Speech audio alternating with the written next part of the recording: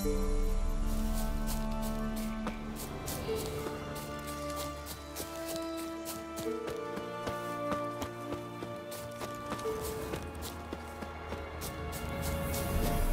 sucklings. You didn't bring but a single scurvy run. No wonder he cursed us. I were doomed. You's the one brought soured wine. Curse is your fault as much as mine. What are you doing here? What? The sun flying from the moon? We're making offerings to the All-God, clearly. You too can seek his aid. That's if you've got fitting offerings. He scorned ours, then cursed the old village. The All-God, you call him. First I've heard. Is some new deity? Nay, tis ancient, revered by our forefathers. They say it were like this. Roslav of Oriton came here to gather brushwood. And suddenly, for no reason, a bush burst into flame. Then, Roslav heard a voice from the ground, demanding offerings and obedience. We've been coming here since then, bearing gifts, in exchange for which the All-God watches over us, keeps us from evil. Mm-hmm. Plain to see that.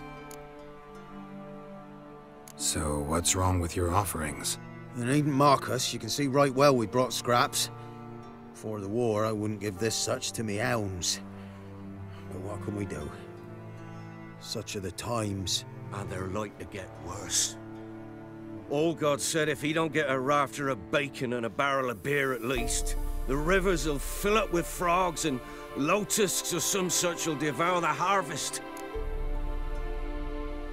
I could intercede on your behalf with this all-god of yours. Got a feeling we'd come to an understanding. Well, I suppose it can't hurt to try.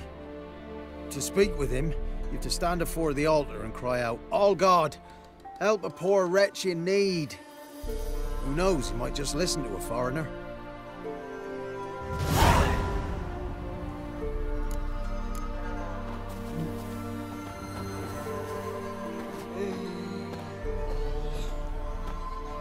Oh, all God, help a poor wretch in need. Pretty please. How dare you disturb my divine rest, mortal? I dare disturb it because I want your divine self to lift the, uh, curse you cast. Those peasants really don't have- They must bring worthy offerings or they shall face drought, driving hail, earthquakes, avalanches. I have spoken. Avalanches? Here? Huh. How would that work?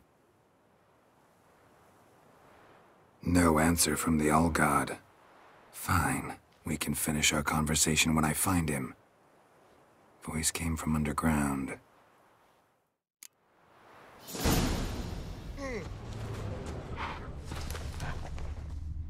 Hmm. Wine. More like vinegar. Someone drank it anyway. Could follow the scent.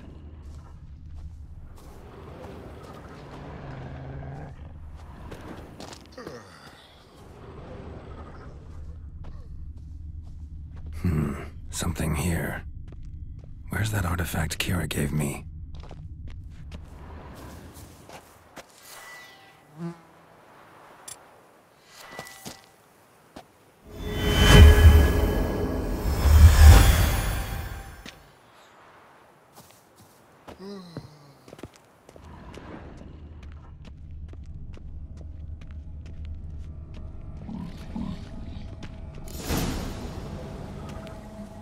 What?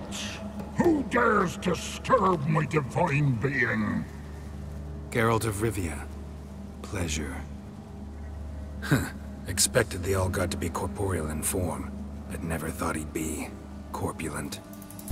Fattened up nicely at those peasants' expense. Expense? Expense? Not a word about the help I give in return. Blessings, absolutions, enlightened advice. Believe me, these folks need all of it. I'd watch over them still if they fulfilled their end.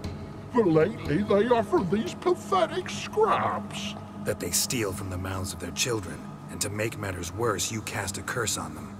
And I'll not lift it till they bring me worthy offerings. I'm to settle for curds and whey? Not a chance. And you can tell him that.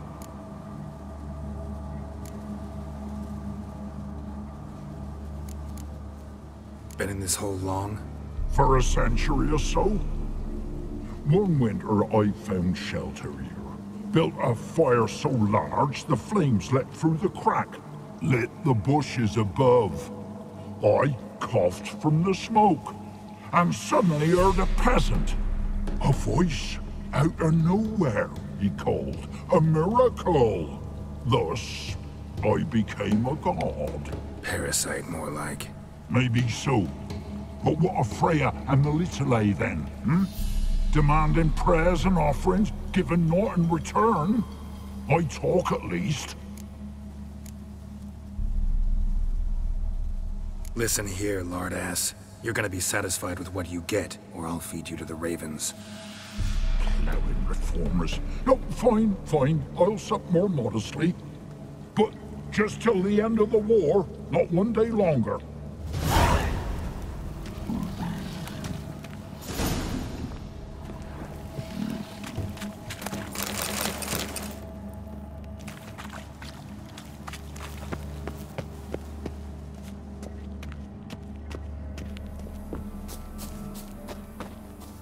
Anything new? Talk to your old god, face to face. And will he show us mercy? He will. Promise to be pleased with whatever you bring. I told you. I told you the All God's merciful understanding. Thanks, Witcher. Oh, one last thing. Did you know there's a crypt beneath this hill? I want to take a look sometime. Architecture's fascinating.